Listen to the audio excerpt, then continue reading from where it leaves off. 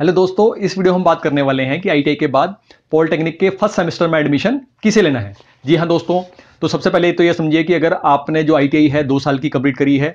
और engineering trade से करी है और इसके अलावा आईटीआई कंप्लीट करने के बाद जो आपकी एज है 19, 20, 21, 22, 23 इस रेंज में है।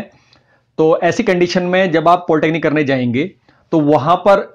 जो पॉलिटेक्निक है लेटरल एंट्री से थर्ड सेमेस्टर में एडमिशन लेने से लेने के बजाय आपको वहाँ पर पॉलिटेक्निक के फ़र्स्ट सेमेस्टर में ही एडमिशन लेना है। क्योंकि उसके पीछे वजह यह है कि अक्सर जब पॉलिटेक्निक की जो वैकेंसीज आती हैं वहाँ पर जो गवर्नमेंट सेक्टर है वहाँ से जो मिनिमम क्वालिफिकेशन मांगी जाती है वो मांगी जाती है कि three years diploma in engineering तो ऐसी कंडीशन में कि जब आप लेटरल एंट्री के थ्रू पॉलिटेक्निक करते हैं तो वहाँ पर आपकी जो डिप्लोमा हो जा कंप्लीट होता है वो आपका दो साल में ही कंप्लीट हो, हो जाता है। तो ऐसी कंडीशन में जब आप, आपका डॉक्यूमेंट वेरिफिकेशन होते हैं, आप गवर्नमेंट जॉब के पेपर क्लियर कर लेते हैं और जब डॉक्यूमेंट वेरिफिकेशन का टाइम आता है, वो आपके डॉक्यूमेंट चेक करते हैं गवर्नमेंट सेक्टर वाले तो वहाँ वो देखते हैं कि भाई जो मिनिमम क्वालिफिकेशन थी, वहाँ पर वो diploma in engineering three year diploma in engineering मांगा गया है और वो आपने दो साल में कंप्लीट किया है। तो ऐसी कंडीशन में डॉक्यूमेंट वेरिफिकेशन में ऐसे स्टूडेंट्स को बाहर कर दिया जाता है जिनकी जो पॉलिटेक्निक है, वो केवल दो साल में कंप्लीट हो रही है। हालाँकि ये जो स्कीम है, गवर्नमेंट, सेंट्रल गवर्नमेंट ने ही निकाली है, लेकिन उन्होंने इसके आगे का रास्ता, जो गवर्नमेंट जॉब्स हैं, वहाँ पर वो क्लोज वहाँ तक नहीं पहुँचाया। तो बहुत दुख की बात है। कि गवर्नमेंट ने आपको एक ऑप्शन तो दे दिया लेकिन कोई वैकेंसी आती है वहाँ पर केवल three year diploma in engineering ही लिखा जाता है जबकि वहाँ पर आईटीआई वालों को कंसिडर कर, करते हुए इसके अलावा एक ऑप्शन और देना चाहिए कि जिन्होंने आईटीआई कर रखी है उनके दो साल का डिप्लोमा भी मान्य होगा। लेकिन ये वाली स्टेटमेंट आईटीआई वालों की वहाँ पर किसी भी गवर्नमेंट वैकेंसी में नहीं आती। तो ऐसे कंडीशन में कि जिन्होंने आईटीआई के बाद पॉलिटेक्निक लेटर एंट्री से किया हुआ होता है उनका वो दो साल का पॉलिटेक्निक बेकार चला जाता है। तो दोस्तों आपके साथ ऐसा ना हो। तो जब आप पॉलिटेक्निक करने जाएँ तो वहाँ पर आपको फ़र्स्ट सेमेस्टर में ही एडमिशन लेना है। यही मेन वजह है कि जो मैं आपको कह रहा हूँ कि आप फ़र्स्ट सेमेस्टर में एडमिशन लीजिए।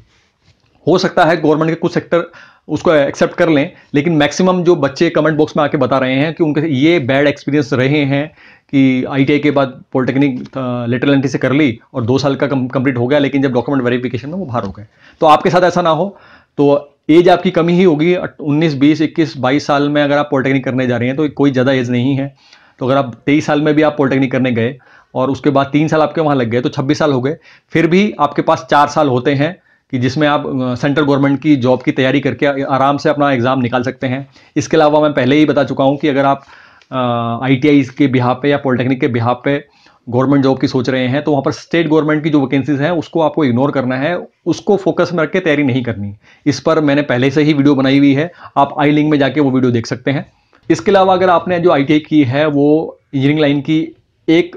एयर वाली ट्रेड से आई कंप्लीट करी है, और आप पॉलिटेक्निक करने जाते हैं चाह रहे हैं तो ऐसी कंडीशन में आप, मैं पहले ही भी वीडियो बना के आपको बता चुका हूँ कि उसके उसके लिए आपको क्या करना पड़ेगा। आईटीआई के साथ साथ या आई कंप्लीट करने के बाद, आप एन जो national institute of open schooling है, वहाँ से आप हिंदी, इंग्लिश में से एक सब्जेक्ट लेके, और इसके साथ साथ मैथ और साइंस अगर आप इन तीन सब्जेक्ट्स के साथ अपनी आई के जो स्कूलिंग का जो तीन एग्ज़ाम क्लियर कर लेते हैं तो उसके बाद आप एलिजिबल हो जाएँगे कि पॉलिटेक्निक के फ़र्स्ट सेमेस्टर में एडमिशन लेने के लिए। क्योंकि जो पॉलिटेक्निक का जो मिनिमम क्वालिफिकेशन है एडमिशन के लिए, वहाँ पर मैथ मतलब आपका टेंथ पास आप होने चाहिए, उसके साथ आपके पास मैथ साइंस होनी चाहिए। तो अगर आप एनआईयूएस से ही अपना मैथ और साइंस क्लियर कर लेंगे और इसके इसके अलावा टेंथ आप पास पहले से हैं तो इस कंडीशन में आप मज़े से पॉलिटेक्निक के फ़र्स्ट सेमेस्टर में वहाँ पर आपको एडमिशन मिल जाएगा। और आपके लिए बेटर ही होगा क्योंकि अगर इस एज ग्रुप के आप हैं और उसके बाद आप एन आई से ये दो सब्जेक्ट क्लियर कर लेते हैं तो आपको मज़े से वहाँ फ़र्स्ट सेमेस्टर में ही एडमिशन मिलेगा और वो आपके लिए बेटर भी है। आपसे गलती नहीं होगी थर्ड सेमेस्टर में लेटर एंट्री के एडमिशन लेने की। इसके अलावा अगर आपकी एज आई कंप्लीट करने के बाद 26, सत्ताईस अट्ठाईस उनतीस साल की रेंज में आती है तो ऐसी कंडीशन में आपका पॉलिटेक्निक का फ़र्स्ट सेमेस्टर में एडमिशन लेना समझदारी नहीं होगी क्योंकि ऐसी कंडीशन में गवर्नमेंट जॉब की जो एज है आपकी वो निकल चुकी है। इस पर मैं अलग से एक वीडियो बना चुका हूँ आप आई लिंक में जाके उसको देख सकते हैं। या फिर आप इसी एज छब्बीस सत्ताईस अट्ठाईस उनतीस की एज ग्रुप के हैं तो ऐसी कंडीशन में चाहे आप पॉलिटेक्निक के लेटर एंट्री में एडमिशन लें, या आप डायरेक्ट बीटेक भी कर सकते हैं, इसके ऊपर भी मैं वीडियो बना चुका हूँ, आप आई लिंक में जाके देख सकते हैं। इसके अलावा ये मान के चलिए कि जितने क्वेश्चंस में से कमेंट बॉक्स में पूछे जाते हैं, तकरीबन सभी के मैं जवाब देता हूँ, और मैक्सिमम जो 90 परसेंट क्वेश्चन मेरे से पूछे जाते हैं, उनमें मैं पहले से ही वीडियोस बना चुका हूँ। तो समझदारी आपके लिए ये होगी कि आप जो आप क्वेश्चन मेरे से पूछ रहे हैं, एक बार जो इस चैनल है, इस चैनल के वीडियोज़ वाले कॉलम में जाके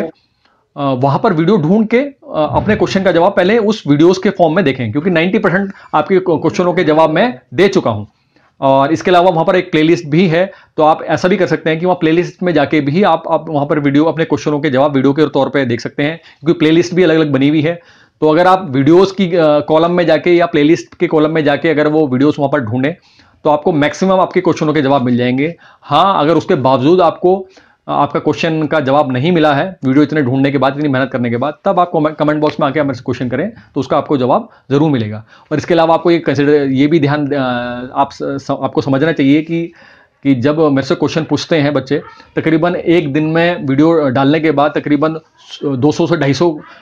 उसमें क्वेश्चन मेरे से पूछ लिए जाते हैं। तो ऐसी कंडीशन में डिटेल में जाके उनके जवाब देना बहुत मुश्किल हो जाता है। तो कम से कम शब्दों में मुझे जल्दी से जल्दी सारे जो कमेंट्स होते हैं वो कवर करने पड़ते हैं। तो ऐसी कंडीशन में आपके लिए समझदारी है कि आप इस जो चैनल के वीडियोज़ वाले में कॉलम में जाएँ और वहाँ पर अपने क्वेश्चन का जवाब वीडियोज़ के फॉर्म में ढूंढ लें पहले। और अगर वहाँ पर नहीं मिलता, तब आप अपने कमेंट बॉक्स में कमेंट्स में आके मेरे से वो सवाल कर सकते हैं। तो दोस्तों, फ़िलहाल इस वीडियो में इतना ही। नेक्स्ट वीडियो में नेक्स्ट टॉपिक के हिसाब से फिर मुलाकात होगी। नमस्कार।